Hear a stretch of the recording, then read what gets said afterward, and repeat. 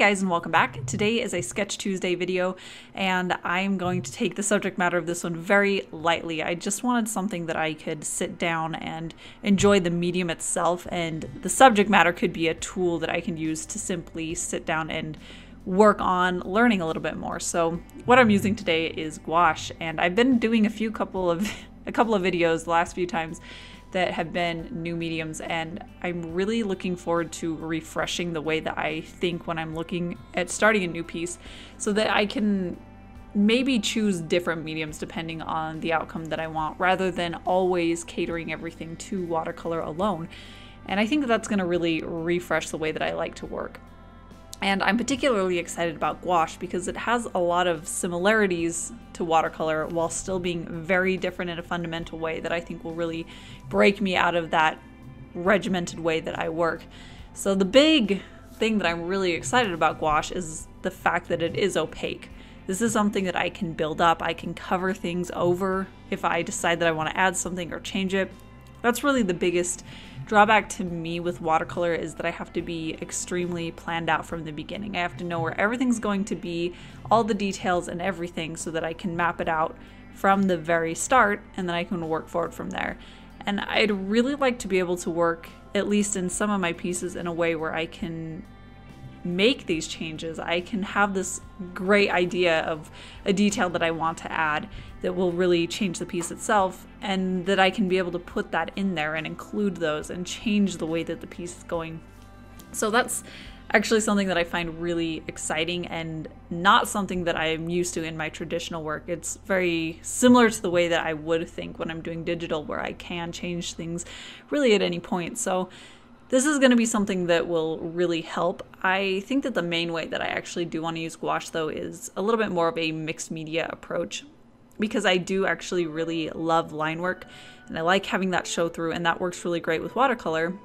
So by using it with watercolor, gouache and watercolor together, I think that I'll be able to combine some of those things that I want where I want to add details and I want to add these elements to it that I don't necessarily think about at the very beginning of a piece I can add those later on while still having a structure that's created through line work and watercolor, I think. So I think that this will be something that will really liven up the way that I already work without throwing me completely for the loop and taking away everything that I know. It, it's just building up on that.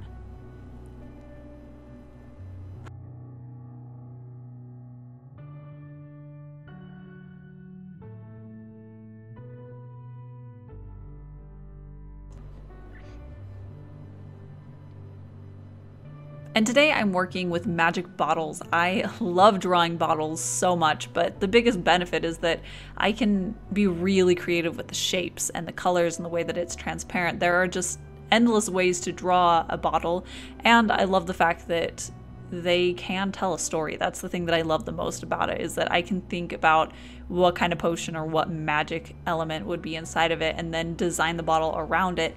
So this is actually something that I draw pretty frequently when I'm feeling a little bit stagnant. I don't know what to draw and I can't really think of something. A lot of times I'll just revert back to doing something like this where I think, okay, what's a cool kind of a potion and how would I represent that in a bottle in a way that visually it shows what would happen. And that's just a really easy way to get ideas of things to draw is just look for a little concept and how can I explain that in a larger way.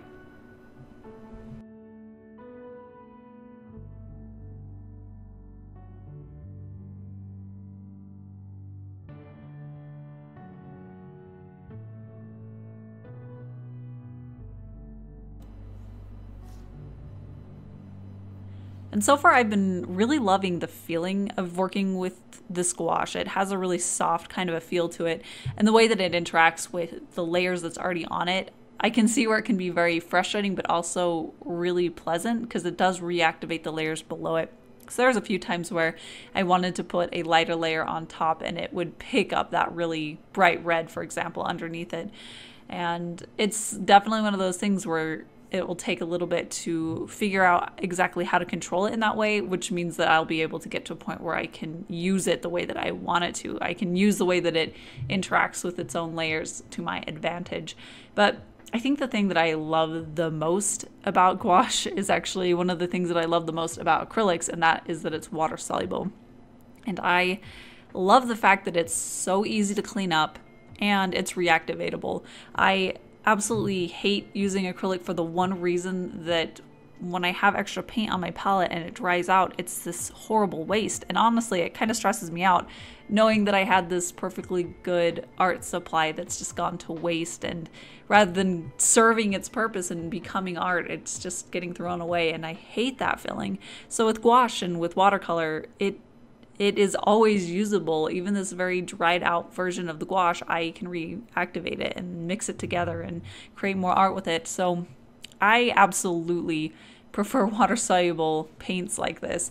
It works a lot better with the way that I work, especially since I'm not really great at gauging how much to mix. So with watercolor, I know that if I mix too much, it's okay because I'm going to use that color and it'll just sit in my palette till my next piece. But when I'm working with something like acrylic, it dries out and that's it. There's no more using that, no more getting use out of it. So I definitely, definitely prefer water soluble. And I think that's another reason why I think that it'll go really well with watercolor is because they are both based very similarly and the way that I will work with them and break them down is the same. So I think on the same piece they'll really marry well together and get an interesting effect while still not clashing in the way that they look either.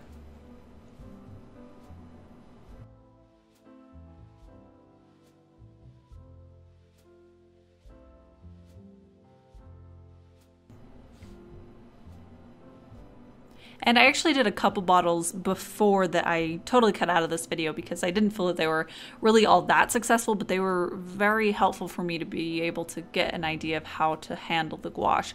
It is something where it's kind of interesting. I can see this timeline of these little bottles of the point where I felt like I was starting to get a hang of how I like to handle it it was really at the point where I was starting to do that skull bottle with the minty color, where I was starting to feel how I liked it, how much water to mix to get it thin enough to spread evenly, but still keep it opaque enough that I was still getting a nice, even, solid coverage.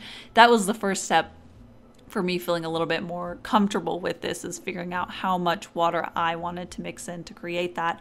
But once I got to this yellow bottle, I really felt a lot more comfortable with it. Definitely, I have a lot to learn with it, so by no means do I mean to say that I felt like I know what I'm doing, but it felt like I was enjoying the way that it felt and I could kind of get the effects that I wanted rather than feeling more out of control like I did with those first bottles.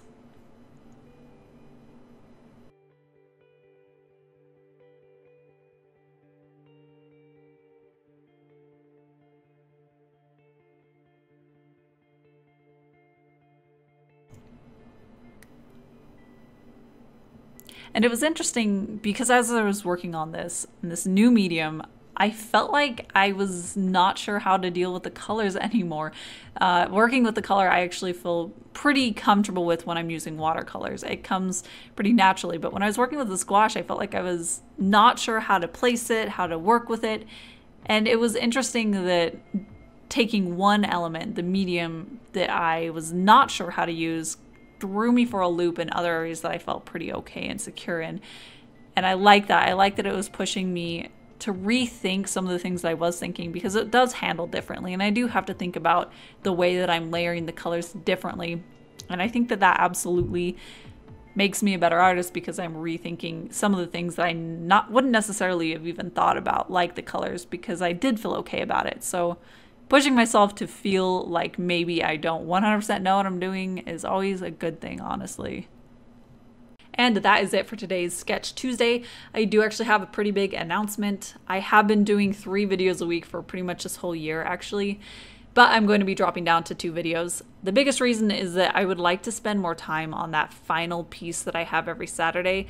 And I think that the more time that I have to spend, the better these pieces will be. So overall, the content will be an improvement and I won't be creating less content, just less video content. So if you'd like to follow me on Instagram, I'll have a link down in the description. You'll be able to see all of the in-between stuff that I do, the sketches, the other pieces that don't turn into videos. So yeah, if you'd like to see more of my work, that's mostly where I like to post. And as usual, I have these little pieces available at my shop. So if you'd like to own a nice, cheap original from me, I will have a link down in the description as well as in the end card. And I will have a link to all of the tools and everything and all the paints that I use down in the description as well. So I will see you guys on Saturday for my next video. And from this week on, I'll be uploading every Wednesdays and Saturdays. So thank you again for watching and I'll see you guys at my next one.